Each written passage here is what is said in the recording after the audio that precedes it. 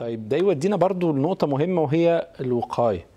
إزاي السيدة لو عندها آه، وراثة أو في تاريخ مرضي في العيلة في هذا الموضوع في سرطان الثدي أو هي عايزة تحمي نفسها زي ما حضرتك قلت هو أصلا كونها سيدة ده بيزود نسب احتمالية السرطان بالثدي.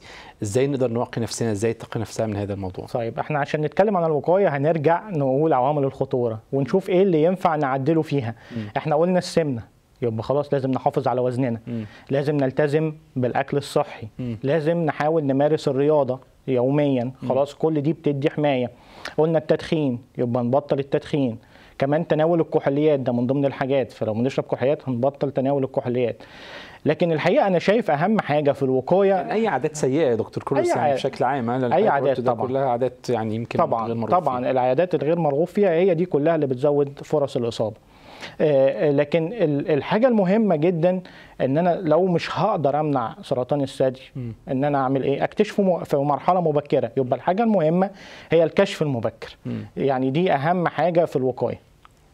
طب خلينا نفهم برضو أكتر عن كشف مبكر. ده عبارة عن إيه؟ يتعمل إزاي؟ إزاي السيدات يعملوا ده؟ سن كام؟ حضرتك برضو اشرحه لنا بشكل أوسع. طيب آه نتكلم في الأول أهمية الكشف المبكر. ليه إحنا بنقول الكشف المبكر الكشف المبكر والدولة كلها مهتمة بالكشف المبكر وكل الناس مهتمة بالكشف المبكر؟ أول حاجة مع الكشف المبكر نسب الشفاء من سرطان الثدي بتصل ل 98% نسبة مرتفعة جدا. م. تاني حاجة لو إحنا اكتشفنا الورم في مرحلة مبكرة ده بيخلينا نقدر نشيل الورم بس ونحافظ على الثدي.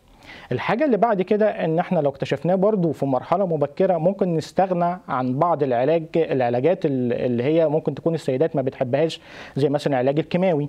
فالكشف المبكر ليه أهمية قصوى. طيب إزاي نقدر نعمل كشف مبكر؟ الحقيقة الكشف المبكر بيتم عن طريق ثلاث محاور. هم ثلاث حاجات. أول حاجة اسمها الفحص الذاتي للثدي. تاني حاجة كشف عند الطبيب. تالت حاجة عمل الأشعاعات أو الماموجرام. طيب نتكلم كل واحدة نعملها إمتى ونعملها إزاي. الفحص الذاتي للثدي ده بنعمله بداية من سن العشرين بيتعمل كل وقت قد إيه؟ بيتعمل كل شهر. الذاتي يعني السيدة نفسها هي اللي تفحص نفسها بنفسها مش محتاجة تروح لطبيب مش محتاجة ده بيتعمل في البيت. ده بيتعمل في البيت. م. آه إحنا بنديها تعليمات إزاي تعمله. م. خلاص وبيتعمل في البيت. بيتعمل إمتى؟ بعد نهاية الدورة الشهرية بأسبوع. اشمعنى التوقيت ده؟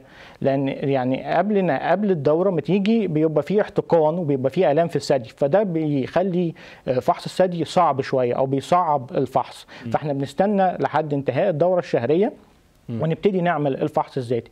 هو بسيط جدا. هو بيتكون من حاجتين. أول حاجة إن أنا أبص يبقى فحص بالنظر.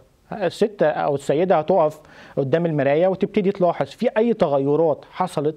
يعني ربنا خلق لنا ثديين فسهل جدا المقارنة.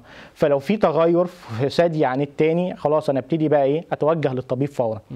تاني حاجة إن أنا هعمل فحص للثدي. هبتدي أفحص الثدي كله وأفحص منطقة تحت الأبط ولو في أي كتلة أو أي حاجة غريبة يبقى هبتدي أتوجه للطبيب.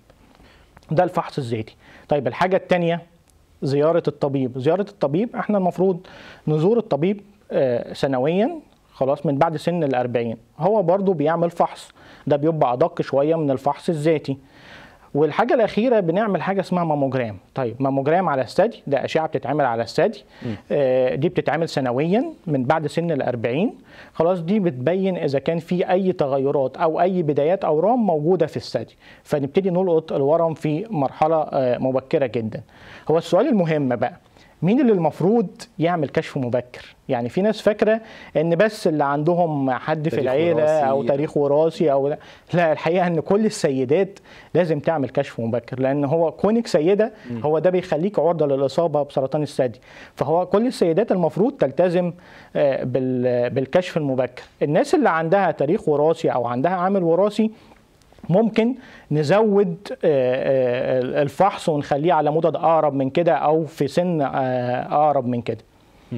طيب خلينا نفهم برضو من حضرتك اللي إحنا يعني يمكن اتكلمنا على الفحص الذاتي وحضرتك شرحت كده شوية برضو الناس يقدروا يعملوا إيه. ولو إني برضو أحب إن حضرتك برضو تفسر أكتر لأن مش كل الناس عندهم خلفية طبية أو كده. هل ده حاجة سهلة إن السيدة تعرفها لوحدها ولا لازم فعلا تفحص نفسها زي ما حضرتك وصفت وقلت؟ ولو عملت ده وفعلا واجهت الكتلة أو حست بشيء غريب أو كده المفروض تعمل إيه؟ طيب آه، هو إحنا ليه بنقول فحص ذاتي فحص ذاتي فحص ذاتي؟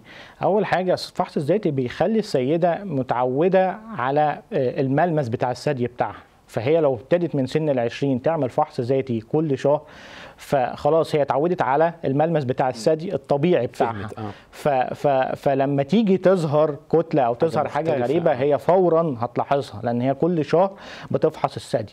فهي هتبقى بعد كده بسهولة جدا تبتدي تلقط أي حاجة آه، بتظهر مبكرا. تاني حاجة هي ممكن بمجرد النظر لو وقفت قدام المراية بمجرد النظر تبتدي تلاحظ أي تغيرات أو أي علامة من علامات الثدي اللي قلناها في الأول.